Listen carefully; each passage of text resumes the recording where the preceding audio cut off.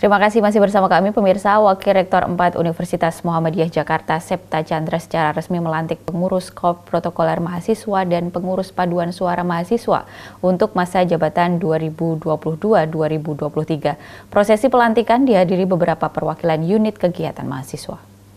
Atas berkah dan kasih sayangnya, kita semua dapat berkumpul Prosesi diawali dengan pembacaan surat keputusan Rektor UMJ tentang pengangkatan pengurus Korps Protokoler Mahasiswa serta pengurus paduan suara oleh Kepala Biro Administrasi, Akademik, dan Kemahasiswaan Ardiles.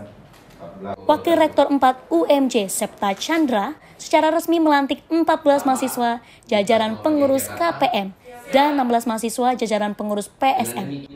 Pelantikan ditandai dengan pembacaan sumpah jabatan dan ikrar pelantikan.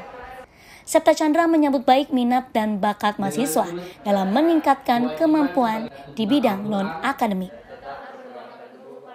Eh, saya ucapkan selamat kepada pengurus yang terpilih dan dilantik pada hari ini dan ini menunjukkan bahwa minat mahasiswa untuk dan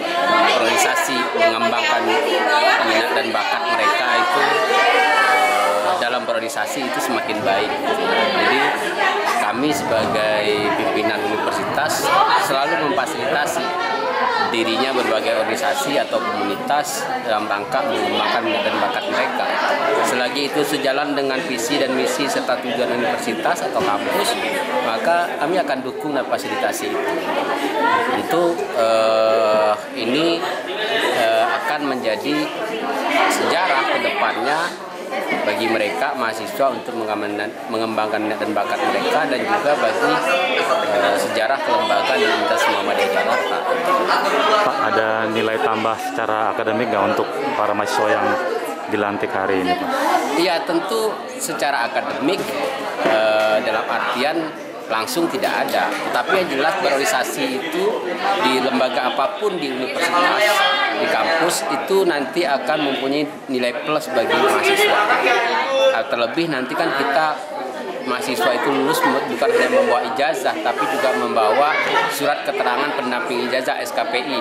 Nah, itu kemudian salah satu poin-poinnya itu dideskripsikan dan digambarkan dari keaktifan mereka dalam organisasi itu.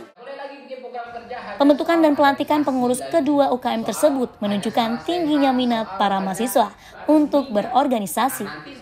Universitas selalu memfasilitasi berbagai organisasi dan komunitas dalam rangka mengembangkan minat dan bakat mahasiswa yang sejalan dengan visi misi serta tujuan universitas. Surya Syaputra memberitakan.